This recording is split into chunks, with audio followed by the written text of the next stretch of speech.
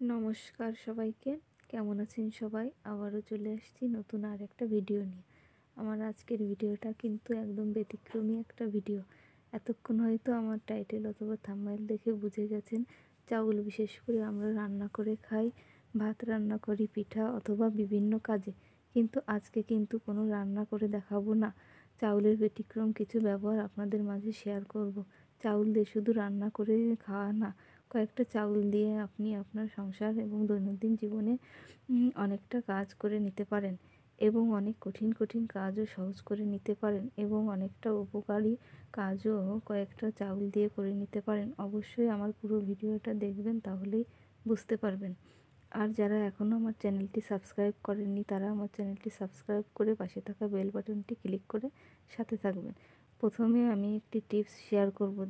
দেখুন, আমি হাতে একটি মোবাইল নিয়ে নিয়েছি। হয়তো সবাই ভাবছেন, মোবাইল দিয়ে আবার কি করব। মোবাইল দিয়ে কিন্তু আমি এমন একটা টিপস দিয়ে দেব, যেটার ক্ষেত্রে আপনার অনেক অনেক উপকারী একটা টিপস এবং যেটার ক্ষেত্রে অনেক টাকাও বাঁচবে। অনেক সময় মোবাইল ভুলবশত জলের মধ্যে পড়ে যায় এবং আমরা যারা গৃহিণী, তারা রান্না করে এবং এক হাত দিয়ে কথা বলতে গিয়ে জলের মধ্যে পড়ে যায়। ওই মুহূর্তে কিন্তু আমরা বুঝে উঠতে পারি না যে আমরা কি করব। তখন মোবাইলের সিম ব্যাটারি খুলে নিয়ে চাউলের মধ্যে মোবাইলটা পুরোপুরি ঢেকে রাখবেন। এভাবে বারো থেকে চোদ্দ ঘণ্টা ঢেকে রাখতে হবে চাউলের মধ্যে। এভাবে ঢেকে রাখলে মোবাইলের মধ্যে থাকা জল শুকিয়ে যাবে। জল শুকানোর ক্ষেত্রে চাউল খুব উপযোগী একটা জিনিস। আর কখনোই কিন্তু মোবাইল রোদে দেবেন না। এতে আপনার মোবাইল নষ্ট হয়ে যেতে পারে। এখন আমি আর একটা টিপস দিয়ে দেব।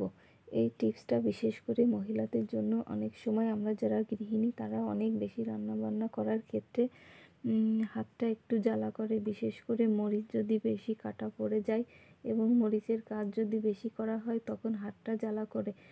তখন আমরা বুঝে উঠতে পারি না যে আমরা কি করব। অনেকেই হাতে বরফ নিই, আবার অনেকেই জলের মধ্যে হাত ভিজিয়ে রাখি। তখন আপনার হাত অনেক বেশি জ্বালা করবে। তখন একটা বক্সে কিছু পরিমাণ চাউল নিয়ে নেবেন।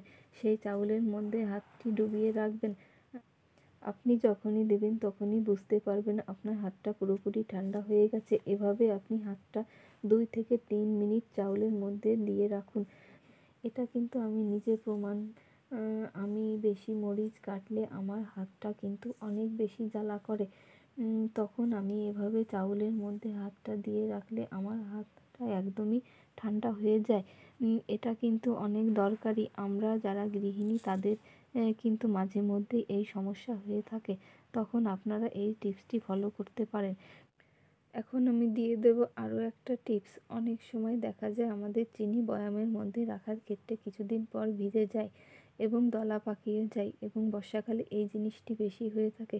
ছোট্ট একটা টিপস ফলো করলে চিনিটি ঝরঝরে থাকবে আর নরম হবে না। এখানে আপনি জাস্ট অল্প কয়েকটা চাউল নিয়ে নেবেন আর চাউলটা আপনি চিনি একটা সাইডে রেখে দেবেন। এতে করে আপনার চিনি যদি বছরের পর বছর যদি রাখেন রুমে, তারপরেও কিন্তু নরম হবে না এবং দলা বাঁধবে না। আমি কিন্তু এই টিপসটি সবসময় ফলো করি। আশা করি আপনারা সবাই টিপসটি ফলো করবেন। এখন দিয়ে দেব আরও একটা টিপস। দেখুন, আমি হাতে একটা ম্যাচ নিয়ে নিয়েছি। সবাই ভাবছেন ম্যাচ দিয়ে আবার কি করব। ম্যাচের দরকার হয়তো সবার হয় না, কিন্তু মাঝে মধ্যেই ম্যাচের দরকার হয়। বিশেষ করে বাসায় একটা ম্যাচ সবারই রাখা উচিত। আমরা যদি একটা ম্যাচ রাখি কিছুদিন পর দেখা যায় ম্যাচের কাঠিটা নরম হয়ে যায়। তখন আর কোনো কাজে ব্যবহার করা যায় না। কিন্তু একটা টিপস ফলো করলে ম্যাচ বছরের পর বছর ভালো থাকবে। দেখুন, আমি এখানে একটা ম্যাচ নিয়ে নিয়েছি। আর ম্যাচের মধ্যে আমি কিছু কয়েকটা চাউল দিয়ে দিচ্ছি।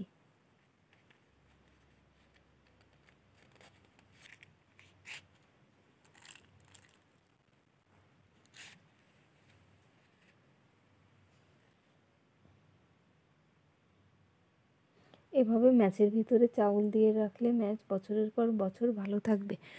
আমার টিপসগুলো যদি আপনাদের ভালো লেগে থাকে তাহলেই আমার চ্যানেলটি সাবস্ক্রাইব করবেন ও লাইক, শেয়ার ও কমেন্টস করে পাশে থাকবেন। আমার ভিডিওটি দেখার জন্য ধন্যবাদ সবাইকে।